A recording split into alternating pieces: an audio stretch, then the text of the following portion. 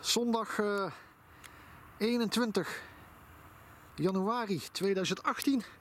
We gaan beginnen met een uh, vlog. We hebben al bijna, uh, of we hebben al 720 vlogs kunnen maken. We zijn nog hier in een fruitpark. Bij het snelst groeiende gas van Nederland. Ik ben hier al een poos niet meer geweest, dus we gaan even kijken hoe het erbij staat. Dit is nu het derde jaar dat het hier, dit hier zo staat, dat gas. Een soort ja, rietveld. Ik noem het altijd het snelst groeiende gas van Nederland. En je ziet het. Het is één jungle. Je hoeft er niet voor naar Bali. Want Bali is ook in Nederland. En dan kan ik jullie laten zien. Hier is het. Kijk eens. Zie je dat? En dit soort riet, of wat het ook is. Ah, er zit leven in. Het is nog groen. Uh, dat loopt kilometers door die kant heen. Dus uh, gaan we even kijken. Ik ga hier zeker uh, van de zomer weer heen.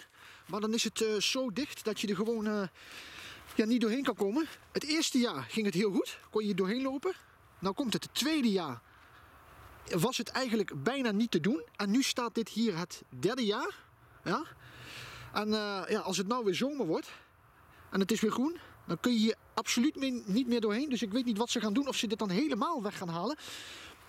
En weer opnieuw gaan implanten, geen idee. Dit zijn bramenstruiken. En je ziet het, het staat aan de rechter en het staat aan de linkerkant. Nou, laat maar even gaan lopen. Ik denk, moet eruit, jongen. Het is, uh, ik was gisteren nog in het bos tot uh, 17 uur 30 bijna. En daarna was het pas helemaal donker. Dus uh, ja, het begint, uh, ja, zeg maar tot 5 uur kun je nog met gemak in het bos lopen. Dan is het nog gewoon licht, zeg maar. Dus daar ben ik aan de ene kant wel heel, heel erg blij mee. Dus uh, dat is wel mooi. Kijk, hier is het, hè.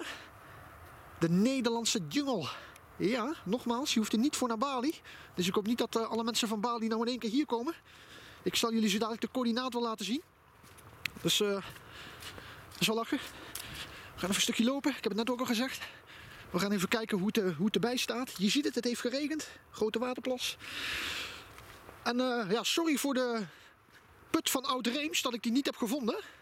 Want ik was blijkbaar één afslag te vroeg gegaan. Ik heb de N224 afgereden. Ik moet erin, jong. Dat is een parkeerplaats. Dus ik ben erin gegaan. Als we recht doorlopen.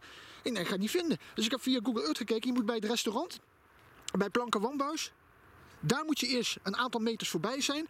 Nou, dan moet je rechtsaf en dan loop je wel in één keer uh, recht tegen die waterput uh, op.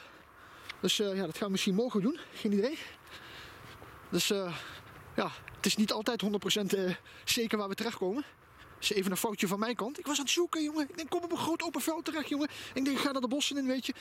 Wat van die outdoor-video's maken. En ja, dat is me gelukt. Dus ik heb, wat is het? Zes video's, dacht ik, gemaakt. En ik heb een, uh, ook, uh, ja, als je één video terugkijkt, dan ben ik uh, wilde zwijnen tegengekomen en herten. En je ziet het trouwens hier.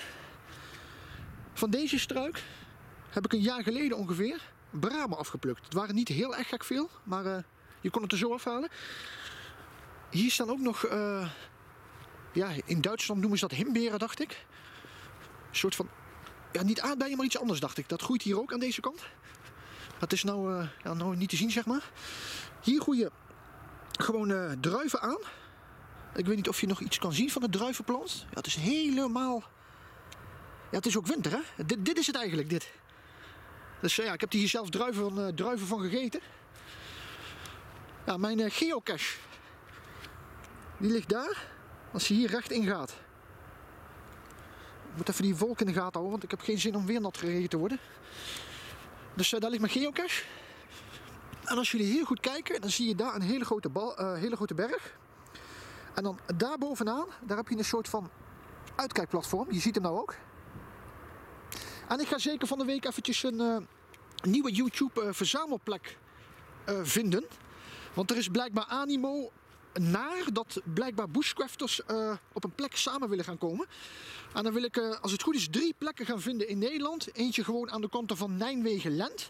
Eentje in het midden van het land. En eentje ja, ergens anders.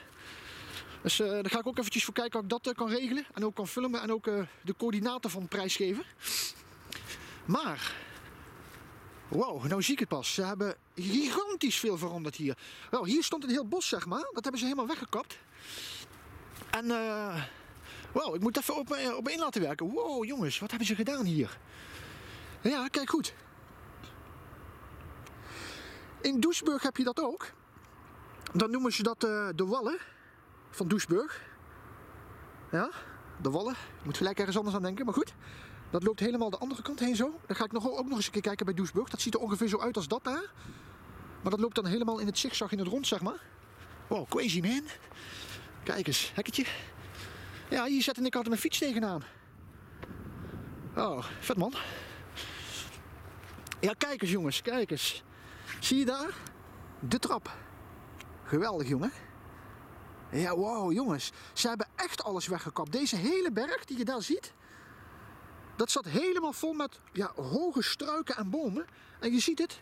Alles, maar dan ook echt alles hebben ze weggehaald. Wow. De verandering. Ja, dat is altijd zo. Als je een, eh, een poosje niet geweest bent op een plek, dan heb je... Dan kun je wel eens veranderingen tegenkomen, zoals deze.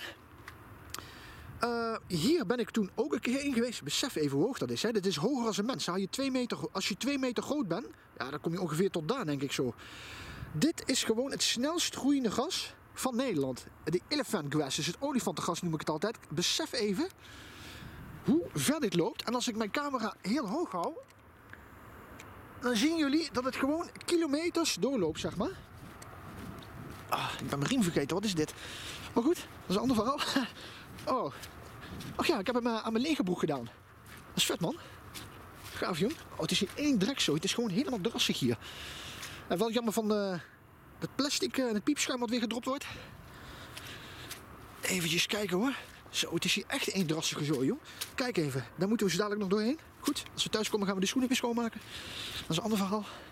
Oh, binnenkort een lage moeten we aan hebben hier, jong. Wat is dit?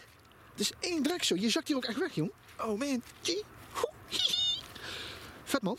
Oh man, dit is niet leuk. Besef even, de kleizooi hier is echt gewoon niet normaal, man, jong. Oh man. Je hoort het ook echt. Oh man, G. Dit is echt niet te doen. Wacht, ik ga eventjes via die kant proberen. Want hier zak je helemaal weg. Nou kijk, hier is het uh, gas. Zo ziet het eruit. En besef even, in de zomer is dit heel mooi groen. En nogmaals, een ondoordringbare jungle. Ik ben er een keer helemaal doorheen gelopen. En dat was echt heel erg gaaf was dat. Dus uh, we zullen wel kijken of we dat van de zomer ook een keer kunnen doen. Dan moeten we een kapmes meenemen. Maar goed, dan, uh, dan laai je van boven, als je daar kijkt, wel hele gigantische sporen achter. Dus dat kunnen we beter niet doen. Ah, ook een keer leuk om hier nog een keer uh, te kijken. En ze hebben zo te zien ook nog een andere verandering gedaan. Want kijk eens, daar. Die ingang, dat pad. Dat was er ook nog niet. Dus dan gaan we ook maar even kijken. Oh, ik denk, ik moet gewoon een vlog maken, weet je. Ik denk, ik kan dan wel binnen blijven zitten, maar dan heb ik mijn avondvlog niet gemaakt. En iedere keer om 23 uur 59 komt er een vlog op mijn kanaal. Nou, dat is vanavond dus deze. Oh jongens, wat is dit? Het is heel interessant. Ze hebben hier een soort van een pad gecreëerd die er vroeger nog niet was. Kijk, dit is het resultaat. En nu is mij de vraag weer, wat gaat hier komen? Ja, hier komt, eh, als het doorgaat, weet ik niet, een heel groot outletcentrum. Uh, ik denk dat dit misschien de eerste resultaat er al van is. Heel erg gaaf. We gaan eventjes erboven kijken. Hier achter deze berg loopt de A12, de snelweg. Ik heb er vandaag moeite mee om de berg op te komen, jong. Wat is dat? Normaal gaat het, het een stuk sneller. Maar goed. Kijk eens.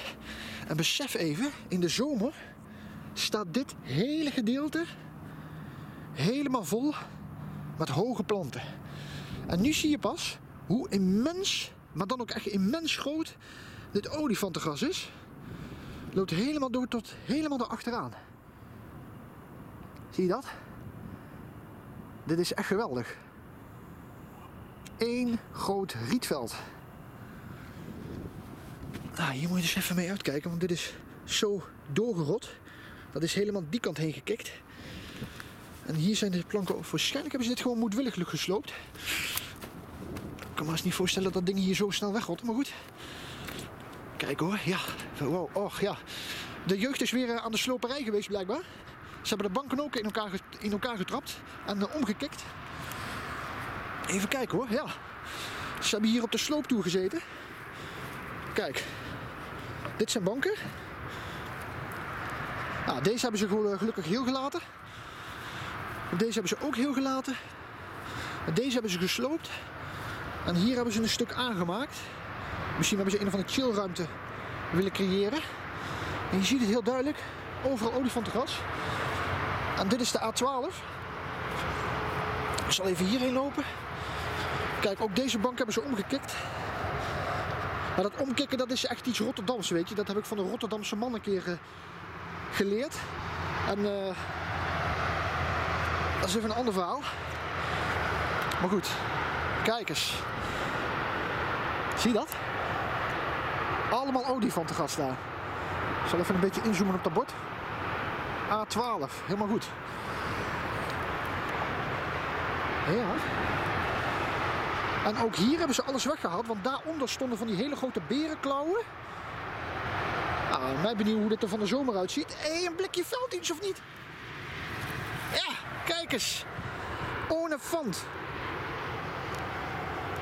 Altijd die datums even controleren, dat is altijd wel, uh, wel lachen. Als ze hier ook lopen zuipen. Mooi hoor. Nou, we gaan eventjes deze kant. Besef even, jong, wacht. Ik ga nog eventjes deze kant heen. Want hier heb je zo'n hek. Daar heb je zo'n hek, daar heb je dan die afgrond. Dat is ook mooi om met een crossmotor hierop te gaan. En, en dan vlieg je naar beneden en die automobilisten op de A12 die denken dan wow, ze krijgen een shout-out, weet je. Dat is een ander verhaal. Kijk eens. Zie je dat? Het olifantengas. Ja, en nu valt ons pas iets op. Daarachter, waar die mensen lopen, daar heb je ook nog olifantengas. Dus het is echt een, gewoon een mega groot gebied met het snelst groeiende gas van Nederland. Gaaf joh. En we gaan eventjes hier boven overheen lopen.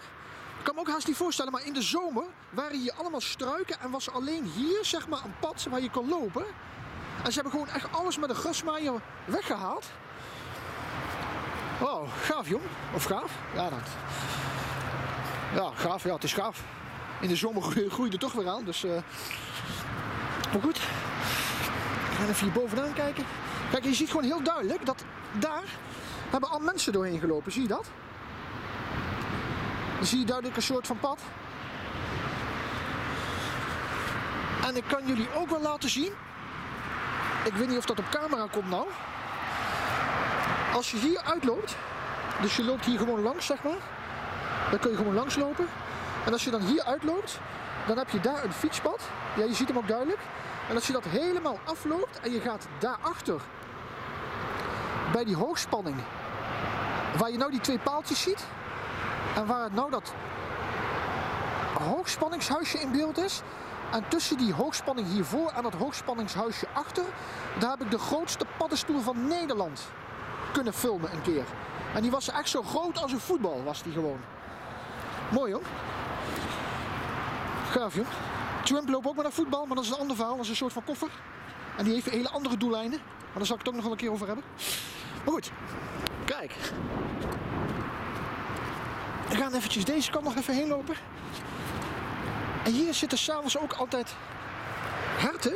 Maar die zijn heel schuw, die vliegen daarin. En als het een beetje tegen zit, dan rennen ze ook over de A12. En dan heb je zoals gewoonlijk eigenlijk bijna iedere avond hier een ongeluk. Dus uh, ja, had ze daar geen hekkers voor maken, dat snap ik niet. Maar goed, dat is een ander verhaal. Gemeente. Kijk eens. Dan gaan we hierheen lopen. Nou, hier zat ik vroeger heel vaak op de platform. Ja, hier heb ik heel wat uren doorgebracht. Het is winter. Nou, dan gaan we naar beneden lopen. Ik uh, ga dit gewoon even in beeld brengen. Waarom ik dit in beeld breng? Omdat hier een heel groot outletcentrum komt. Ergens in die hoek. Ik weet niet precies waar. Maar ergens hier in, dit in deze hoek komt een groot outletcentrum. Dus uh, dit zijn eigenlijk wel unieke beelden. Als we gaan beginnen met het outletcentrum aan het bouwen, dan ga ik er ook nog even weer een keer kijken. Ze hebben heel duidelijk hier een rand gemaakt. Dus je ziet gewoon heel duidelijk dat er iets gaat gebeuren, maar wat weet ik niet. Dus ik zal het wel, uh, ik zal het wel in de gaten houden. Net als dat ik zoveel plekken in de gaten hou. En nu ook voor het uh, outdoor in het bos. We zijn er flink mee bezig. We hebben acht nieuwe plekken nou gevonden waar we heen kunnen gaan. En uh, dat worden er waarschijnlijk nog wel meer. Maar goed, dat is even een ander verhaal. Kijk, hier hoor je heel duidelijk dat het weer een stuk stiller wordt. Het kabaal van de A12 is dus weg, van de auto's. Hier moet je altijd oppassen. Oh, het is helemaal doorgerot, jongen, die balk. Dan gaan we even naar beneden lopen. Moment. Nou, eventjes nog uh, over die verzamelplek. Ik wil een uh, YouTube verzamelplek creëren. Voor uh, mensen die ja, ook bushcraften willen gaan doen en iets met outdoor. En hij dan, hij dan samen gaat komen. En dan heb ik al een hele mooie plek gevonden, nogmaals in de buurt van Lent, tussen Nijmegen en Lent. Daar moet ergens een soort van, ja, hoe zal ik het noemen? Ik heb er een keer een video over gemaakt. Een soort van oprijlaan zijn. En dan kun je een soort bankje kun je dan zitten en er zit een soort van muur. Dat is gewoon helemaal, helemaal fantastisch, ziet dat eruit. Maar uh, ik hou jullie daar nog zeker uh, van op de hoogte. Het begint koud te worden. En hier zie je ook weer een, uh, een druivenplantje. En je ziet het, hier stonden allemaal hele hoge bomen. En nogmaals, waar je kijkt, het is gewoon helemaal weggehaald. Ja, dat halen ze niet zomaar weg. Dus ik heb echt zo vermoeden dat ze hier serieus iets gaan doen. En dat het waarschijnlijk ook met het uh, outletcentrum te maken heeft. Ik weet niet hoeveel honderden, honderden parkeerplaatsen hier komen in dit veld. Ik kan me haast niet voorstellen, want ze hadden het over een getal. Dat, dat, dat wou ik gewoon niet weten, maar goed. Dus uh, dat is even al de verhaal. Kijk, hier staan nog wat boompjes. Nou, dit is het eigenlijk. Zo ziet het eruit. Het ziet er heel eigenlijk uh, ja, onspectaculair uit, wil ik eigenlijk bijna zeggen. Maar ik maak gewoon deze video omdat ik weet dat hier een, uh, ja, een outletcentrum komt. Ze hadden hier namelijk ook uh, vroeger plannen om hier een soort van kleine ja, helikopterlandenplaats te maken. Waar ze met kleine vliegtuigjes kunnen landen. En dat was dacht ik een, een 18 jaren plan geworden. En toen hebben ze het dacht ik afgeblazen. Zoiets in die richting moet je denken. Dus geweldig. Maar goed, nou, dan moeten we weer door de drekzooi. We gaan eventjes de andere kant, uh, andere kant pakken. Zo. En dan gaan we weer teruglopen. Nou, we hebben vanavond toch nog een, uh, een, vlog gemaakt. Wel even een totaal andere vlog. Anders zie je mij altijd in het bos lopen. Ja, en nu was het gewoon letterlijk en figuurlijk te laat. Het is echt heel goor, jongen, waar je nou doorheen loopt. Oh, man.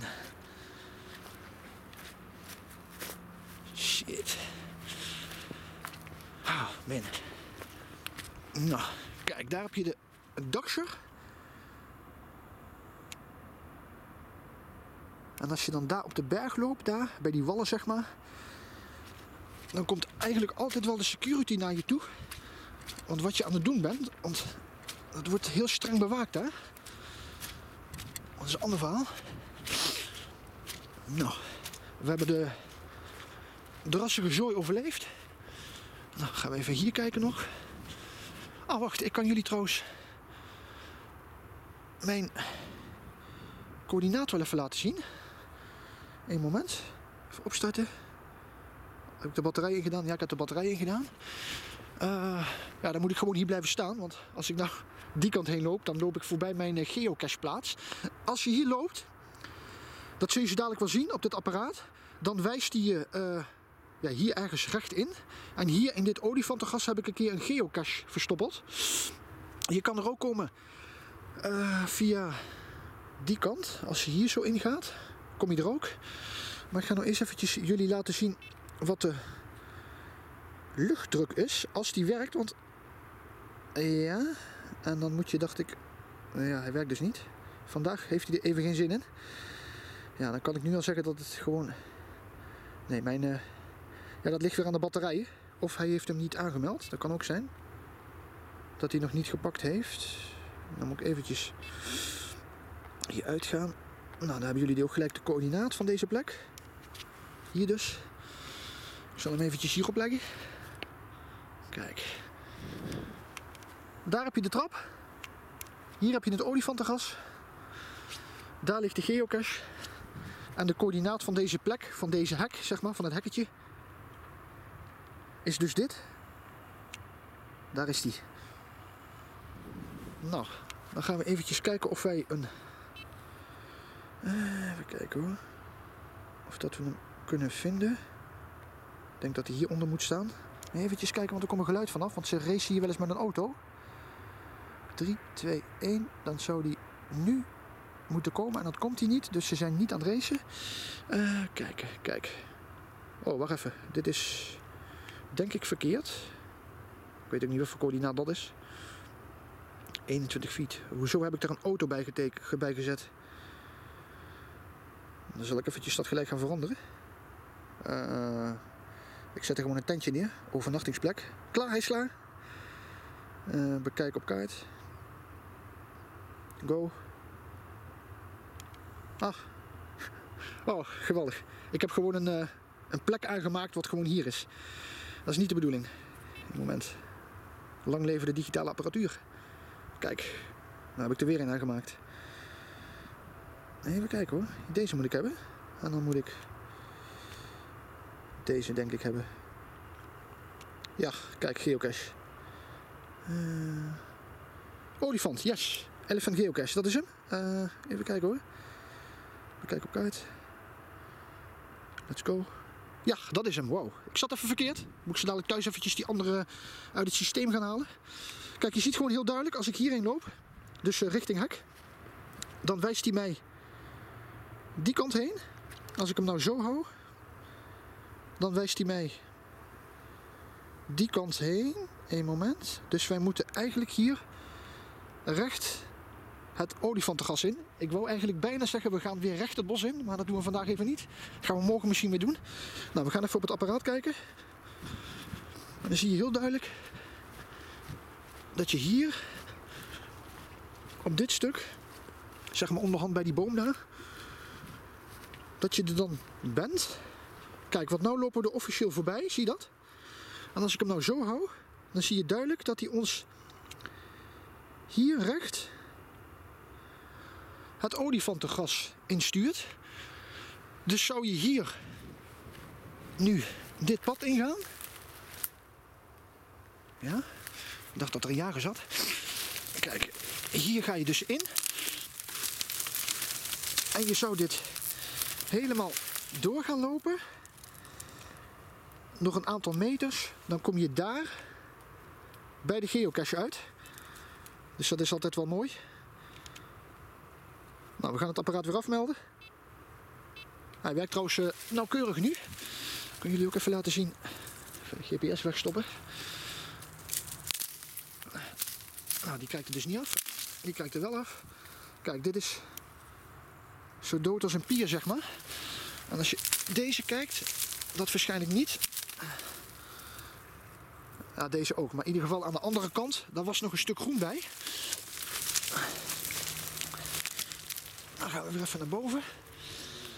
Stel je voor, je bent hier een half uur in geweest en je komt hier eruit. En je komt hier bij die heuvel zo'n hardcore oma tegen. Met zo'n rollator en keiharde muziek. Toppie. Nou, we gaan eventjes uh, een stuk verder lopen. Het ziet er echt geweldig uit, dit jong. Ik mag dit wel, dit soort uh, jungle. De jungle van Nederland. Het is nog net niet de jungle van Calais, maar goed, dat is een ander verhaal. Kijk, hebben ze ook gesloopt of het is gewoon weggerot. Wacht, we gaan even een test doen. Ah, het is waarschijnlijk gewoon weggerot hier. Oké dan. Nou, heel erg gaaf. Nou, hier je een uh, boom. In de zomer ziet hij er helemaal groen uit. Dan zitten er altijd allemaal vogels in. Dit keer niet. Nog even een stuk verder lopen. Ik ben hier trouwens ook een keer. Dat kan ik jullie ook laten zien. Exact op, op deze plek was ik hier bramen aan het zoeken in die struiken. En toen kwam ik hier achter. Hier zat een hert verscholen. En die chopte echt zo naar binnen, weet je. En toen hoorde je hem door de struiken hoorde je hem zo gaan. Dat was ook wel een, uh, een leuke ervaring. Dit is dacht ik een appelboom wat hier staat, een kleine.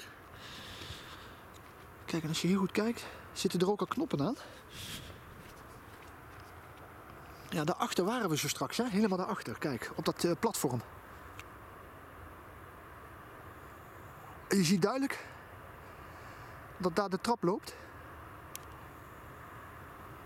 Zo, hartstikke mooi. Nou, toch nog even een uh, leuke avondvlog gemaakt. Het is uh, nu rond etenstijd. Ik denk rond 17 uur. Misschien een paar minuten vroeger. En je ziet het, het is nog gewoon licht buiten. En dat was uh, voor januari, was dat niet het geval. Dan zat je al binnen onder de kerstboom. Bij de kachel. En nu lopen we buiten. Het is wel koud. Maar dat mag de pret niet drukken. Even een verhaal over deze struiken. Hier komen, in de zomer komen hier van die capsules aan. Nu niet te zien. Er zit er eigenlijk geen één meer aan. zal even kijken of we bij deze struik nog kunnen vinden. Nee, alles is weg. Maar in ieder geval neem van mij aan, hier zitten van die capsules aan. Die kun je openbreken en dan heb je van die pitjes. En als je die dan hier neerstrooit, dan heb je binnen een aantal jaren zo'n struik, zeg maar. Dus dat is ook wel leuk. Ik heb thuis een hele kast vol met van die pitjes. Die ging ik altijd halen overal in de bossen. Dus dan kun je eigen oerwoud creëren. Maar dat is een ander verhaal. Daar heb ik het eh, ook nog wel eens een keer over. Want ik wil zelf eigenlijk een soort van uh, in het bos of ergens of iets, bij een open plek, wat toch beschut is zoals dit, wil ik een soort van ronde kring maken met een soort vierkant, wat dan helemaal afgesloten is en waar je dan kan bushcraften. Je eigen bushcraft plek maken. En dat gewoon in de hand en dan gewoon neerstrooien, weet je. Dat is ook wel kikker. We zijn eigenlijk met allerlei dingen tegelijk bezig. We kunnen maar één ding per dag doen helaas. Dus dat is altijd wel jammer. Je ziet heel duidelijk. Deze boom, dat heb ik, er is ook nog een verhaal. Want hier, op deze plek, heb ik mijn memo-recorder verstoppeld. Hierachter. Ja. En als deze boom zomers groen is, dan komt hier altijd een bepaalde soort vogel komt hier naartoe. Die komt zelfs tot op de memo-recorder zitten. Dus dat is ook wel even leuk. En dat, je, ja, dat die memo-recorder, die kan meer dan 1000 uur opnemen. En die chop je dan aan je computer en dan kun je s'avonds vogelgeluiden horen. En ik heb ook wel eens die memo-recorder in het bos gelegd voor één nacht. En die heeft toen een hele mooie oehoe, een uil, opgenomen. Dat was ook wel kikker. Ik heb trouwens die memo-recorder ook een keer bij de wildobservatiepost de Sijsselt neergelegd. Toen ben ik, ben ik hem een keer vergeten en de volgende dag liep die nog. En uh, ja, toen heb ik waarschijnlijk de vos gehoord. Dus kijk maar eventjes Tony Pino Vos 1. Dan zien jullie hoe ik een vos film bij de wildobservatiepost de Sijsselt. Nou, ik hoop dat jullie de vlog weer leuk vonden. Ach, trouwens, over dode dieren gesproken. Ik ben hier een keer ingegaan, hier zo. En dan heb ik hier een stuk of zes à negen kadavers gevonden van afgeschoten vogels die hier zaten. En uh, ja, die kwam ik hier gewoon tegen, terwijl ik er gewoon inliep, zeg maar. Nou, we gaan de vlog weer beëindigen. Ik hoop dat jullie dit een leuke vlog vonden. Eventjes een totaal andere vlog. En je ziet het. Fruitpark. Zo heet dat hier. Ze zeggen tot de volgende keer maar weer. Doei!